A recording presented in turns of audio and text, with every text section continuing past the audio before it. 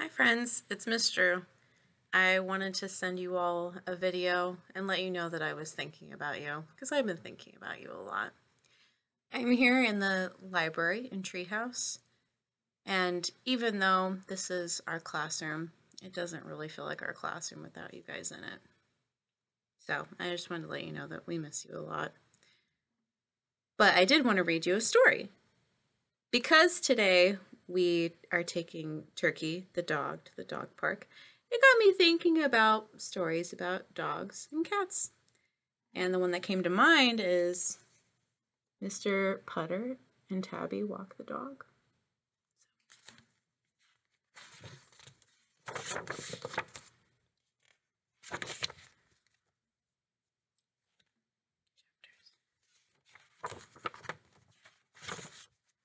Chapter 1 The Lollipop Mr. Putter and his fine cat Tabby live next door to Mrs. Teaberry and her small dog Zeke.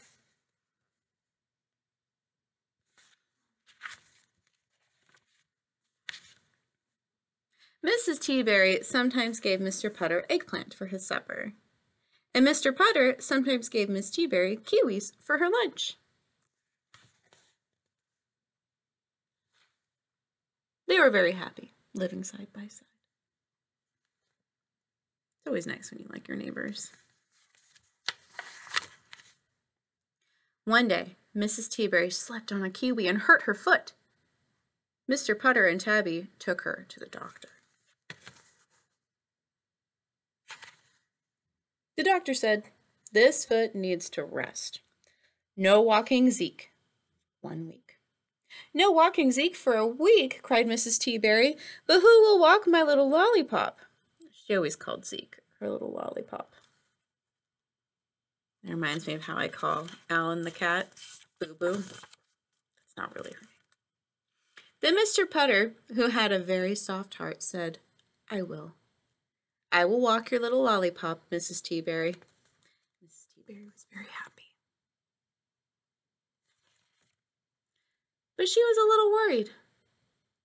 I hope he doesn't tug, she said. Oh, no, said Mr. Putter. Zeke won't tug. I hope he doesn't wrap around trees, she said.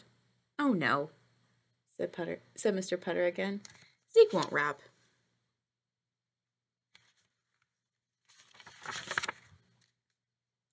And I hope he doesn't chase other dogs, she said finally, especially big ones. Oh, no, said Mr. Putter for the last time. Zeke is a good dog.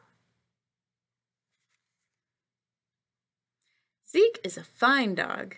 Mr. Putter looked at the little lollipop. Zeke is a dream dog, Mr. Putter said with a smile.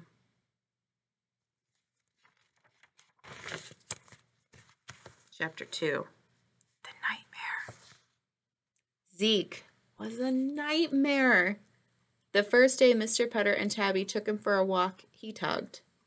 He tugged and tugged and tugged. He tugged Mr. Putter and Tabby through yards and creeks and houses they had never been to before.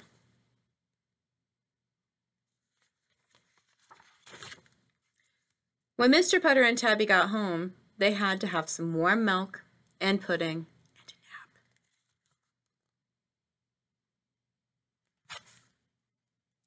Zeke is not a dream dog, Mr. Putter said to Tabby when they woke up.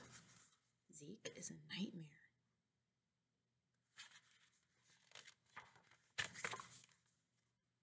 The second day they took him for a walk. Zeke wrapped around trees. He wrapped around an elm tree. He wrapped around a pine tree. He wrapped around a pear tree.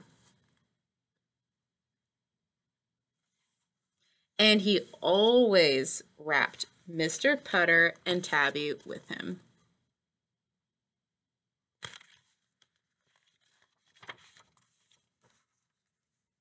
When Mr. Putter and Tabby got home, they had to have some warm milk and popovers and a nap. Zeke is not a dream dog, Mr. Putter said to Tabby when they woke up. Zeke is a nightmare. Hmm. The third day, Zeke chased dogs, and he didn't chase little ones. He chased big ones. He chased a Russian wolfhound. He chased a Great Dane. He chased a St. Bernard. Those are all really big dogs. He chased them until they got bored with being chased.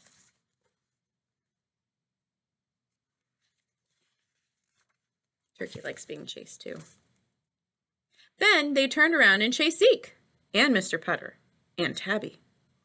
The big dogs chased them through the yards and creeks and houses they had never been through before.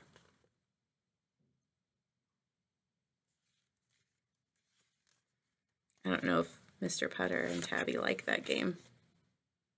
When Mr. Putter and Tabby got home, they had some warm milk and shortbread and a nap. Zeke is not a dream dog, Mr. Putter said to Tabby when they woke up. Zeke is a nightmare. The two of them sat for a long time, wondering what to do. They weren't sure they could live through another four more days with the lollipop.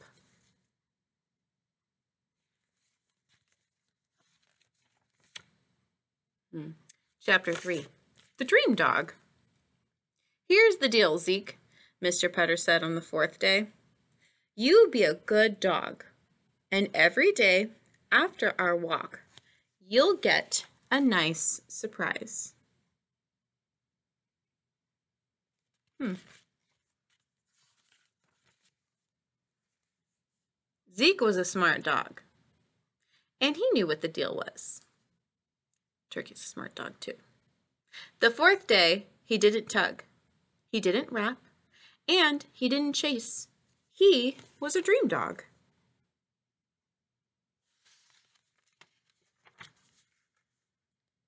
So Mr. Putter and Tabby took him to the Frosty Freeze. Zeke had a hot fudge sundae with extra cherries. The fifth day, Zeke didn't tug, and he didn't wrap, and he didn't chase. He was a dream dog again.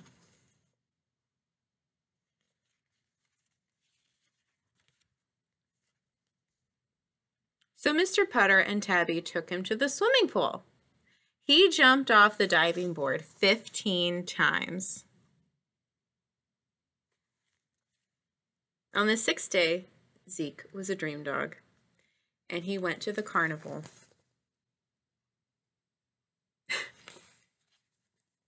Tabby looks pretty surprised. On the seventh day, Zeke was a dream dog, and he went to the zoo.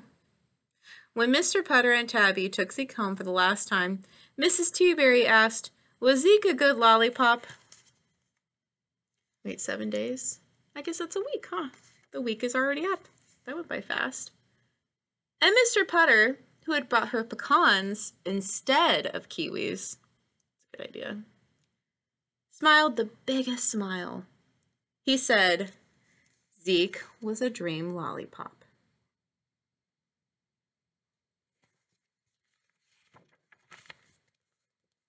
Then he and Tabby said goodbye and went home and had a party.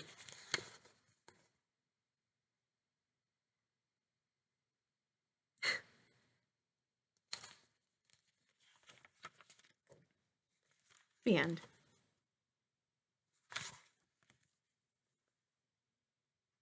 I also thought that since it's been a long time since we told knock knock jokes to each other, I wanted to share one knock knock joke you've probably heard before and a new one that I found.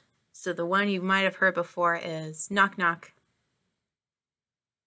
Did you say who's there? I'll start over. I'll start over. Remember, you say who's there, and then you say who who. Okay. Knock knock. Banana. Banana banana. Knock knock. Banana. Banana banana. Knock knock orange, Aren't you glad I didn't say banana this time? And the new one, you ready? The new one is knock knock. Orange. Aren't you going to let me in? It's cold out here. Thank you for listening, friends, and I hope to see you all really soon. Have a great rest of your day. Bye.